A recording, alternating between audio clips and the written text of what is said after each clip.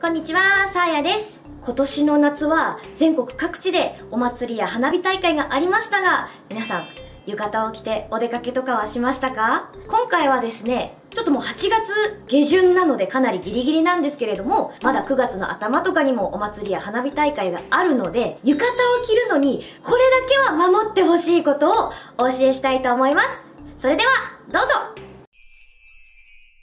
浴衣の着方って、やっぱり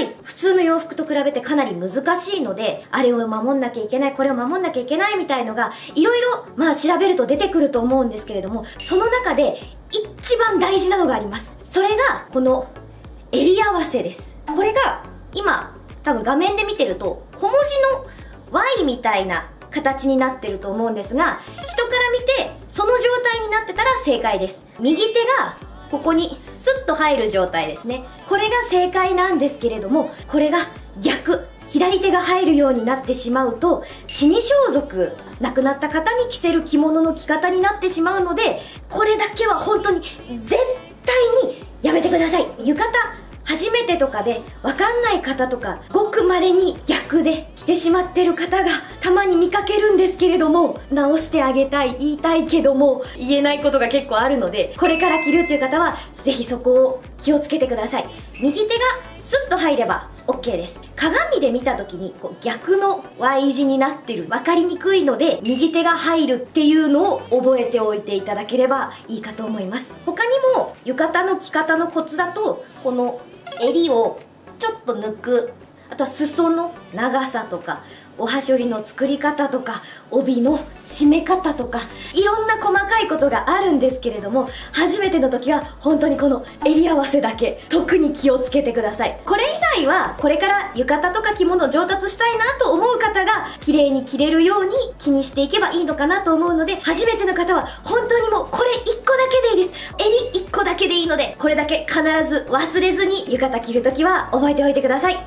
あともう一点ですね。普通の浴衣の着付けとかには載ってない、私なりの気をつけるポイントがあるんですけれども、この浴衣は大丈夫かな？こういう白っぽい薄い浴衣の時ですね。この時に絶対気をつけたいのが、下着が透けないようにすることなんですよ。浴衣ってやっぱり結構涼しくなるように薄手なんですね。なんで、中の下着とか着てるものが透けてしまいます。特に柄の少ない白とかベージュそういう薄い色合いのものだと結構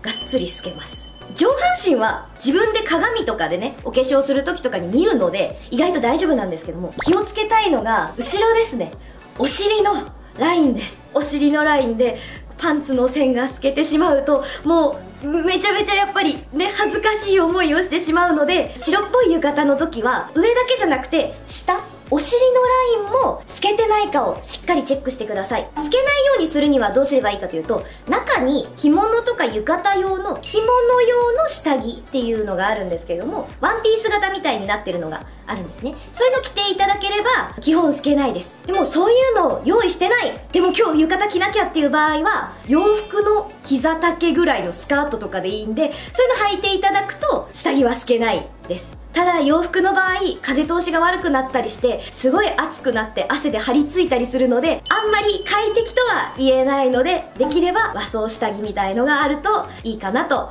思います。あとですね白い布に白い下着とかだとすごく目立ってしまうんですよ。こう透けてしまうというか。なんで下着の上に直に着るっていう場合はベージュとか肌色肌の色と変わらない色の下着とかだとより透けにくいのでおすすめです。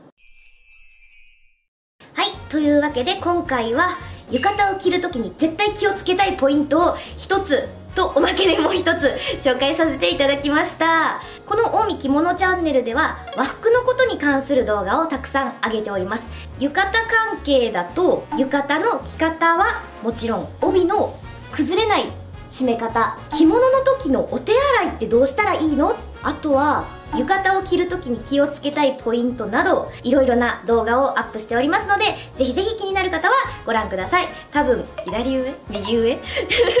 上の方にリンクが出てると思うので気になる方はぜひご覧ください。それでは今日はこの辺でまた次の動画でお会いしましょう。バイバイ。